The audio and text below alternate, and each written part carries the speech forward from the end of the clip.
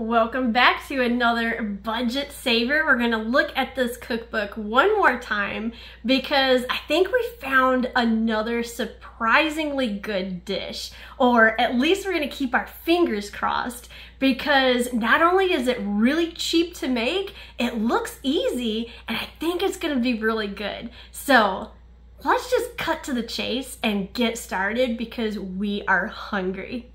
And by the way, instead of calling this a budget saver, I'm gonna start calling this a rainmaker cookbook. Remember last week I cooked out of it and we had a violent thunderstorm come through? Look what it did again as soon as I pulled this cookbook out to cook from it.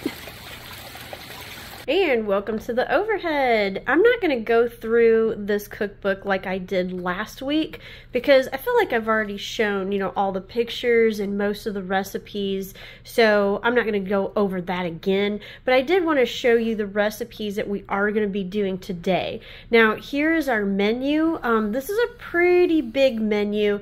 Um, me and Mitch don't generally eat, you know, like a dessert um, and something like this uh, with a meal. So I've actually cut these two items out. We're doing the tuna burgers and the onion rings. So we have some limited ingredients in here. It looks really good, but it's also really cheap to make. And then of course we have our onion rings. Now, because I had most of the ingredients, this cost me under $10 to make. I already had some crackers. And of course, I already had a little bit of hot sauce, didn't have to buy that. And it's just eggs and salt and pepper. That's something, you know, usually you have anyway. And then this green onion, that was just a dollar for the bunch. So all in all, this is actually a really cheap dinner to make. And it should be super easy because all we're to do is just start dumping things into the bowl.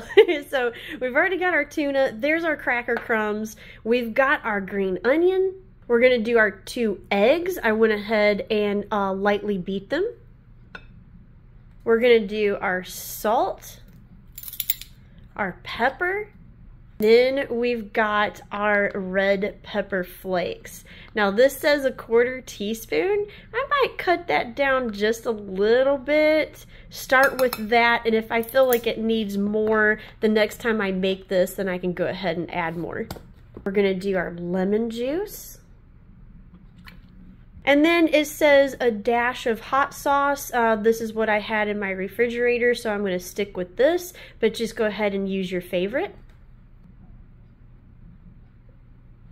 And now we're just gonna mix all of this together. It already smells good, so I kind of have high hopes for this. And it also helped me clean out quite a bit of extra things out of my cupboard, like three cans of tuna and some crackers that I kind of needed to use up. So this is kind of a cabinet of chaos uh, episode also. And I know we're actually going to put this on hamburger buns, but the recipe does say to go ahead and bake this in a greased loaf pan. So we're going to go right with what Betty Crocker says to do. And we're going to pat this down, put this in a 350 degree oven. Let this bake for about 25 minutes until done which gives us plenty of time to fry up our onion rings.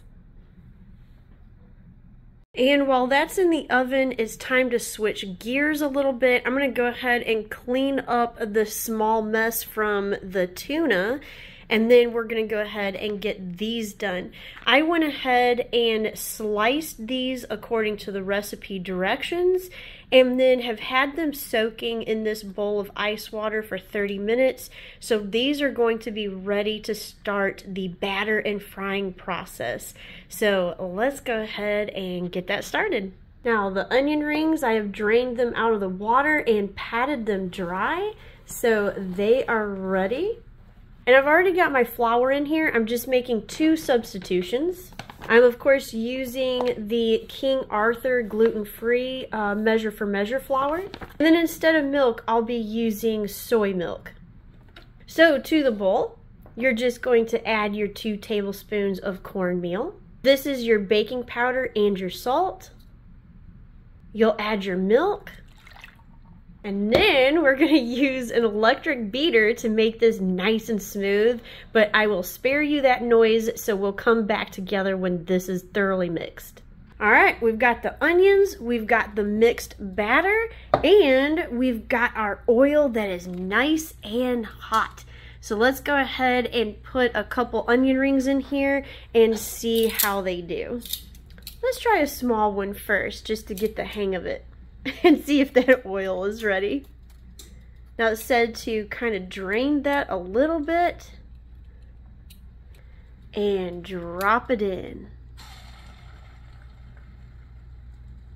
All right, I'm gonna get a few more in that pot and then we will come back and see how they're doing. And we're trudging right ahead. I'm gonna flip some of these. You can see I already flipped that one. So that one's getting nice and golden brown. But they're looking really good. I'm gonna leave these in there just a little bit longer. But I wanted to show you a technique that I found on the internet. So my first couple kind of sunk to the bottom and that is not what you want. So the technique to prevent that is to kind of hold the onion ring in the fat about halfway down before releasing it. And then when it looks like it's to float, you can see it right there in the middle. It's kind of floating right in the middle of the pan. That way it's going to kind of stay onto the surface and not get stuck to the bottom of your pan. Now, I've got a long way to go, so I'm going to keep trudging along and we'll come back when everything is ready. All right, and we are done with the loaf. I went ahead and pulled it out of the pan. Now, you can see, um, this is a little bit crumbly. I think it would have been better to form them into the patties themselves and then bake them, but I wanted to go ahead and at least follow the recipe the first time just to see um, why they said that, but I can't imagine a reason why they did it this way. So if you make it at home, maybe just form it into the patties and bake it that way. It said to serve it with lettuce and tomato. I've got that here. I've got our bun. I'm going to sneak a little bit of mayonnaise on that bun because I think that would be really good. And our onion rings are done. Look how beautiful and golden brown that looks. I think this is going to be a really good favorite. So let's go ahead and plate up. Mitch is getting our sandwiches nice and ready and we will be ready to do our final tasting. This is going to be so hard to eat. I think we should have just gone ahead and put another the rest of the bun on it. I yeah. There's there's a couple things with this recipe. One, like I said, just form them into patties. I mean, there's really no benefit to the loaf pan. Right. You know, that makes it better or something like that. Um, and if you are going to just go ahead and put it in the loaf pan and you know, cut it into slices and do open face, just put it on a piece of bread. Yeah. The bun, I just don't. It's kind of like. I know. It's a weird shape to try to fit a loaf pan thing on. Yes. Like, like a piece of bread is already mostly a square. Yeah, so, so like they used a bun, but not a patty. Yeah. And then used the open face instead of a bread. I don't I don't know if I really get it. um, but it's kind of not working, I think, because it's I think it's gonna fall apart. It's gonna be hard to eat. Yeah. So, but that doesn't mean that it's gonna taste bad. No. So I say we start with this because I'm the most curious about it. How are we supposed to? I don't know. are we supposed to like cut into it? Nope. I'm, I'm just gonna go for it. Okay. Here goes nothing.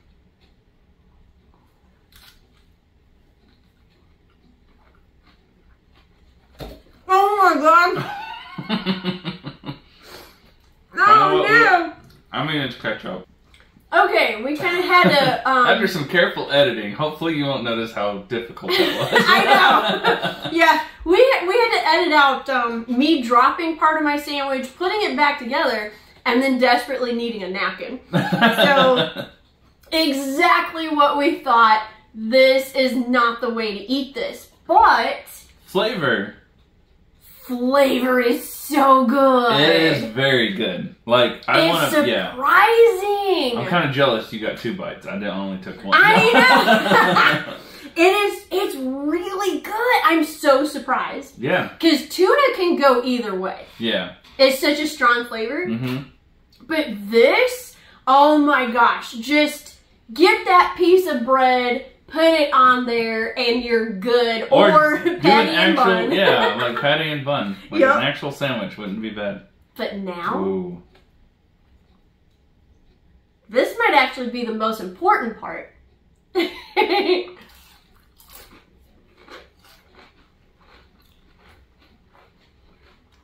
Mm.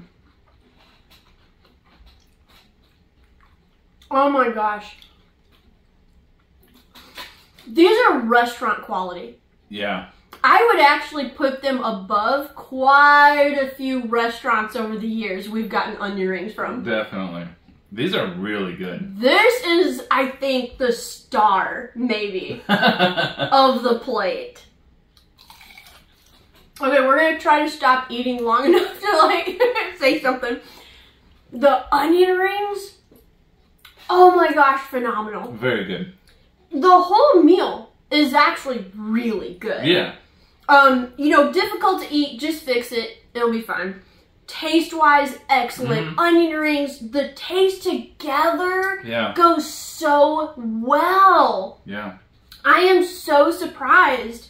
Um, the onion rings were a little bit time consuming to make as, you know, frying. Yeah. It's always you only kinda fit so much, and you gotta wait for each thing. Yeah. Unless you have a deep fryer, you're just kind of stuck for, you know, a little bit in the kitchen. But I think this was worth the extra effort.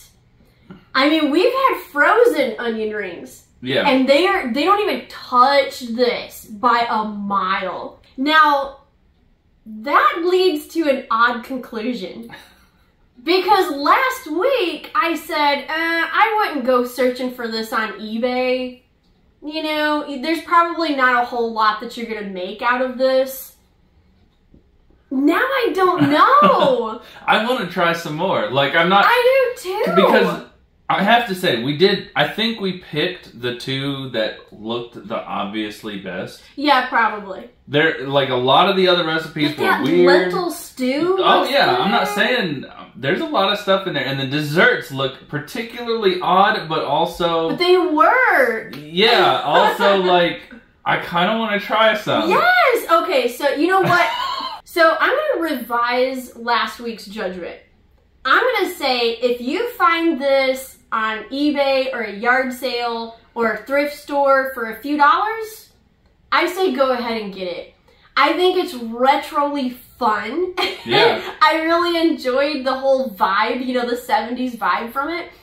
And all the meals we've cooked out of here has been strangely awesome. Yeah, And it makes me think that the other ones in here are going to be just as good. So I doubted Betty Crocker's. And you know, after how many decades of, you know, making her food and, you know, using the cookbooks through my mom and grandmother and now me, why did I ever doubt her? It- you know, if her name's on it, it's probably good. And this was kind of no exception. There's some oddballs in there you probably won't want to make. yeah. They're probably. you know they're very 70s, but there's some other ones like these ah yeah, that are great. So hidden gem. yeah. I would I would argue even some of the oddballs might be worth trying just for kicks and giggles. hmm and even most of them like this i think that are in some cases done weird could be tweaked a little bit to be still a really good modern meal Yeah, they still work. yeah So okay, gotta put that down. so there you go, another dinner that was basically pennies on the dollar. Used up a lot of stuff that you'll probably already have in your cabinet. Won't cost you anything but time Yeah. to make, especially the onion rings. But is actually going to be worth it. yeah So, thanks for watching this one. Hope you enjoyed this episode. Hope you try this because I think you're going to be pleasantly surprised. And stay tuned for next week because we're leaving Betty Crocker and we're going to go into the Tightwad Gazette. Ooh. So we're going to pull out a few of her little uh, recipes. She don't have many, um, but they're kind of interesting, and I think you'll like looking at them. And plus, we'll look a little bit more into her book. So stay tuned for that one. We'll see you then. Bye. And if you like historical cooking and unusual cookbooks, here's two more videos you might enjoy. And make sure to like and subscribe for more foodie adventures.